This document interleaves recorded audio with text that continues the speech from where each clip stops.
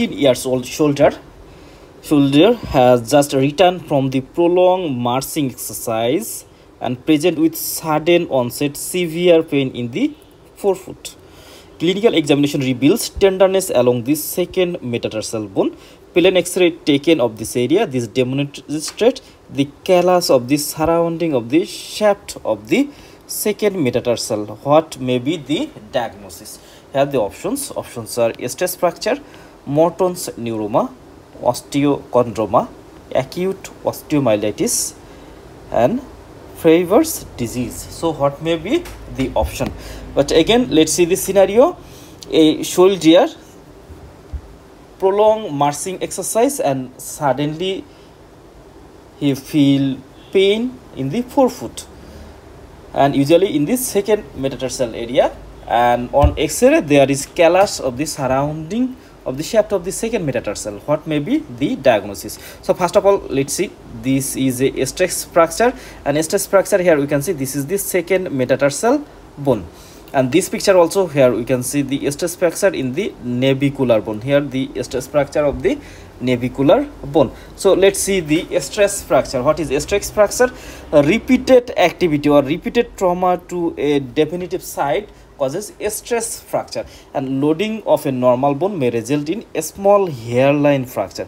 So this is very very important that the repeated activity repeated injury of a, a small bone uh, or in a bone it causes a small hairline fracture.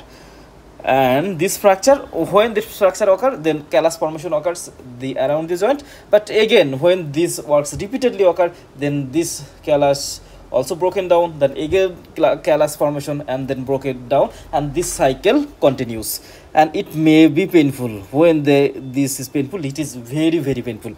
And this is seldom displaced. That means the fracture part of the bone they are not displaced from each other. And surrounding soft tissue injury is unusual may present late following the injury in which case callus formation may be identified in radiograph. Such cases may not require formal immobilization.